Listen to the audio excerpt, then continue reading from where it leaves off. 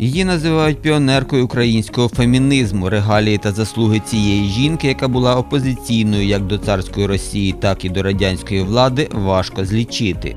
Видатна громадська діячка, професор, педагог, організатор першого дитячого українського садочка на Україні, авторка першої, першого букварика, першої нашої книги нашого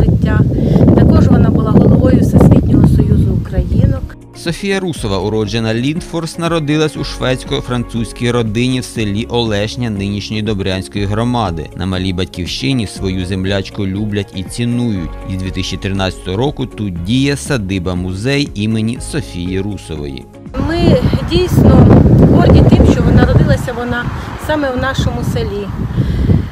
Тому що Олешня зараз знана, а й відомою нашою землячкою, яка зробила дуже багато для України. Музей містить багато архівних фото та документів, що тривалий час зберігались в нащадків Софії Русової за кордоном. За ними можна скласти уявлення про історію родини видатної українки. В музеї зібрані матеріали, передані з Канади, США правнуками Софії Русової. Там же фотографії її дідуся, генерал-майора Федора Андрійовича Лінфорса. Там ікони, з якими е, вона покидала назавжди Україну в 1922 році.